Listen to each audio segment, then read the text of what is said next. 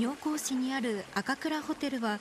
この時期インバウンドの外国人客や首都圏からのスキー客が多く訪れています。今月8日に予約が開始された北陸応援割はすぐに上限に達するほど大盛況だったといいます。受付当日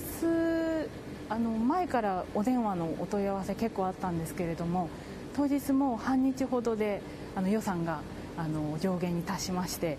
もうあの初日から多くのあのご予約をいただきました。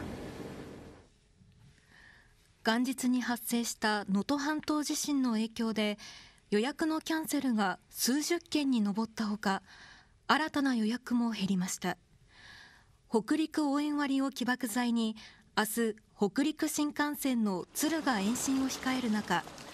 西日本などから新たな観光客の取り込みを狙います。今回あの敦賀まで延伸されたということであの西日本のお客様があの、まあ、新潟県ないしあの妙高市に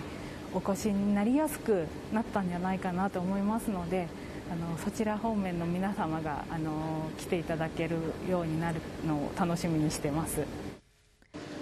これまで関西方面からの利用客は2割ほどで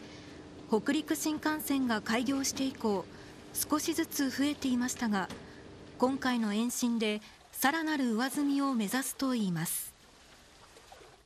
春スキーもまだまだできますので県内の方あの県外の方含めぜひまたあの引き続き来ていただきたいなと思っております。